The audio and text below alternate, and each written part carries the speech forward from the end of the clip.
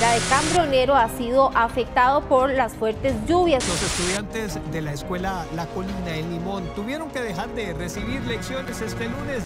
¿Se imagina que tuviéramos la plata para invertir en escuelas, vías férreas, puentes y carreteras? Pues le tenemos una gran noticia. Hace unos días, el Banco Centroamericano de Integración Económica aprobó prestarle a Costa Rica 700 millones de dólares para reconstruir 2.500 infraestructuras en todo el país. Finalmente podremos atender la emergencia en infraestructura pública, beneficiando a millones de costarricenses.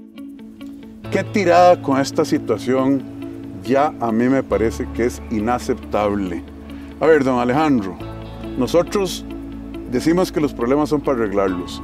¿En qué puede invertir usted 700 millones de dólares para solucionar estas cosas que nos acaban de enseñar?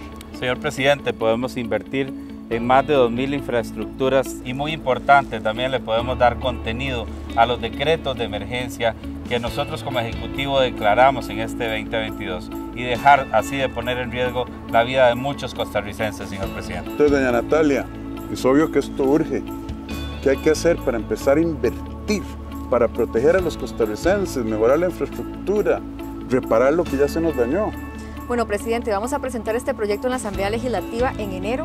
Yo estoy absolutamente convencida que los señores diputados están conscientes de la importancia y de la urgencia de la aprobación de este proyecto, porque es una necesidad para el país, son décadas de abandono, el país lo requiere y sé que lo van a apoyar unánimemente vamos a poder invertir en puentes, vamos a poder invertir en infraestructura férrea, vamos a poder mejorar las infraestructuras tanto en el sector atlántico como en la parte de la gama.